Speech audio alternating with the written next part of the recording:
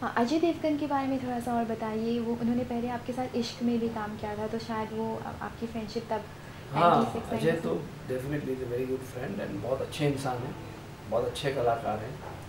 And uh, आज के ज़माने में जब लोग कहते हैं मुझे पूरी बाउंड स्क्रिप्ट चाहिए मुझे तो ये चाहिए वो चाहिए मैं अजय के पास गया मैंने बोला अजय मेरे पास एक आइडिया है हम बनाना चाहते हैं तुझे फ़िल्म करनी बोला सर आइडिया सुना दीजिए। मैंने उसको आइडिया पाँच मिनट में सुनाया। एंड कोई कंप्लीट स्क्रिप्ट नहीं थी जस्ट एक आइडिया था आइडिया फॉर्म में. एंड uh, उसके बाद उसने पाँच मिनट में बोला इंदू जी ज़रूर बनाइए picture I am in this film with you तो इतना फ्लेक्सिबल है मेरे साथ वो.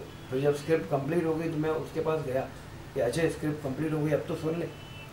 तो उसने बोला नहीं Indu ji I have full faith in you आप शूट कीजिए बस कब मुझे आना बता दीजिए. सेट पे मुझे बता दीजिए क्या करना है. And I was very touch and very honoured also तो लारा के बारे में थोड़ा बताइए किस तरह से आपने लारा को इस रोल में लाया? बहुत सही कास्टिंग था वो। हाँ एक्चुअली वो भी एक को इंसिडेंट है समझिए बिकॉज़ पहले ये रोल विपाशा करने वाली थी। फिर विपाशा का भी डेट का प्रॉब्लम हुआ। हमने विपाशा को साइन भी कर दिया था इस रोल के लिए। एंड फिर शायद उसका इस फ़िल्म में काम करना उसकी किस्मत में नहीं लिखा था या हमारी किस्मत में उसके साथ काम करना नहीं लिखा था।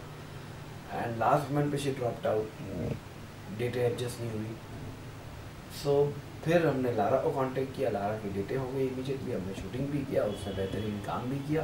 And she is again a lovely person to work with and definitely I would love to work with her again Ritesh के बारे में बताइए वो पॉलिटिकल बैकग्राउंड से आते हैं आते हैं तो उससे पहले बस उन्हें तुझे मेरी कसम फ़िल्म की थी और उस फ़िल्म में भी जिनीलिया उनके ऑपोजिट थी तो यहाँ इस फ़िल्म में बहुत एफर्टलेस उनका परफॉर्मेंस था बहुत ही नेचुरल था तो किस तरह से उनको आपने ट्रेन किया या तो फिर किस तरह कुछ ट्रेन नहीं किया उसको वो एक्चुअली ऊपर से एकदम शांत और ठहराव वाला दिखता है लेकिन अंदर से वो खुद इतना चुलबुला है ना कि वो इस रोल को इतना बखूबी निभा गया कि नहीं, मुझे कुछ रितेश को सिखाना ही नहीं पड़ा। रितेश खुद ऊपर से बहुत शांत दिखता है, लेकिन अंदर से बहुत शैतानी है, मस्ती खो रहे तो उसने बस जो उसको बताया गया, वो करता गया एंड इतनी खूबी से किया उसने कि मुझे लगता है कि सबसे ज़्यादा अप्रिशिएट पूरी फ़िल्म में वही हुआ है।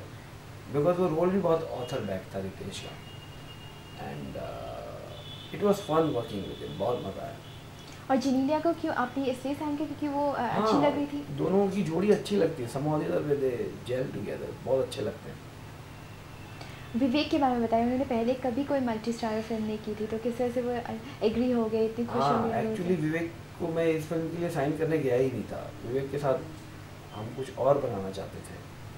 तो उसके लिए मैं उसको मिलने गया था। और हमारी बातचीत उस फ़िल्म के लिए चल रही थी कि ये मस्ती ख़त्म होते ही हम दूसरी फ़िल्म बनाएँगे।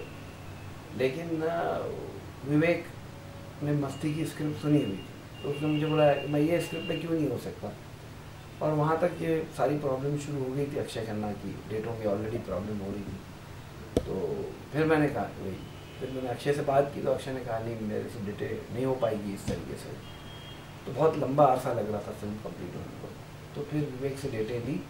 और विवेक के साथ काम किया बहुत मज़ा आया विवेक के साथ काम करने का it was a very good experience and हम वैसे भी आगे फ्यूचर में काम करने वाले हैं।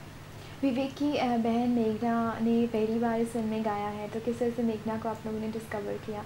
और कौन से कौन से गाने उसने गाए हैं? मेघना ने इस फ़िल्म में एक ही गाना गाया है। सैया जी भैया छोड़ा के नहीं जाना। और बहुत बेहतरीन गाया उसने मतलब पहला गाने के हिसाब से फ़र्स्ट सॉन्ग के हिसाब से she has done a fantastic job and she is a very promising singer definitely